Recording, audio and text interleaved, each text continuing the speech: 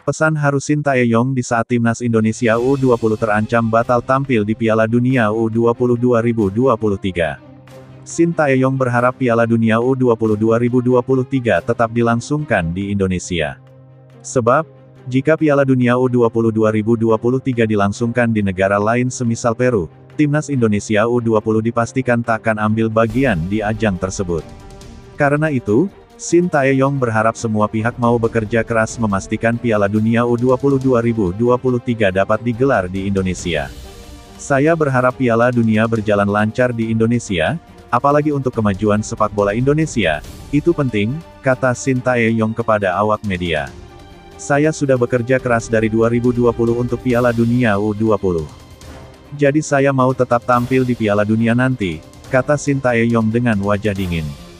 Sekadar diketahui, Shin Tae-yong mempersiapkan betul timnas Indonesia U20 sejak awal 2020. Bahkan ia awalnya ditunjuk PSSI untuk mempersiapkan timnas Indonesia U20 mentas di Piala Dunia U20 2021 yang digelar di Indonesia. Demi tampil maksimal di ajang tersebut, Shin Tae-yong memimpin Witan Sulaiman dan kawan-kawan menjalani pemusatan latihan di Thailand hingga Kroasia.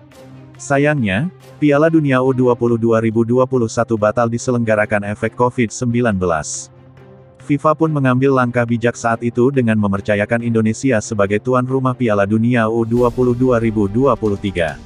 Supaya timnas Indonesia U20 tampil maksimal di Piala Dunia U20 2023, Shin Tae-yong mempersiapkan tim sejak akhir 2021.